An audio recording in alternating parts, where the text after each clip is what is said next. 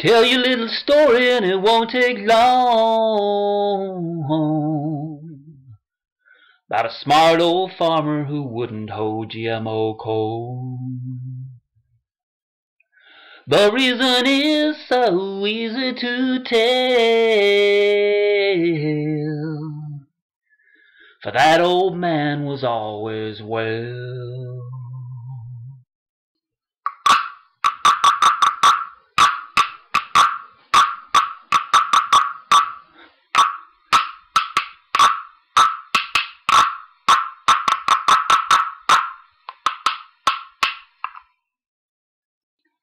He planted heirloom corn in the month of June. Learned organic ways to avoid the pests. Come September, it was ready to harvest. And all the old man's corn got sold.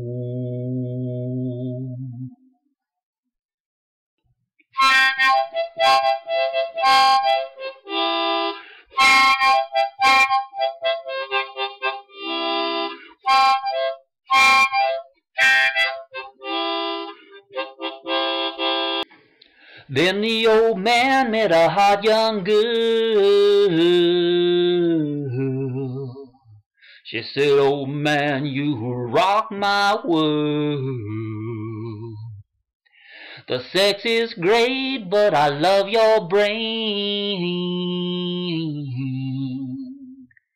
for avoiding freaking GMO grain.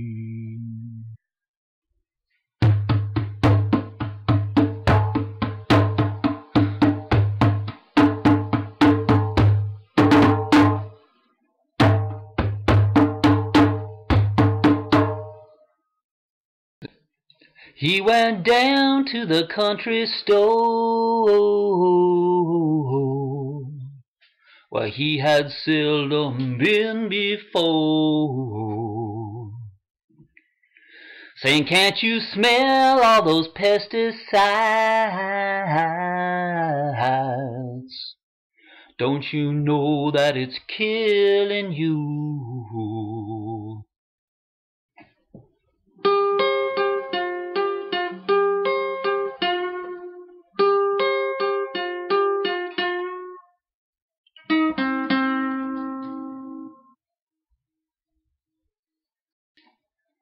GMO goes against nature and God. Roundup is poison for your health and the earth. I'm not gonna buy your GMO corn. Tell Monsanto to stick it up their asses.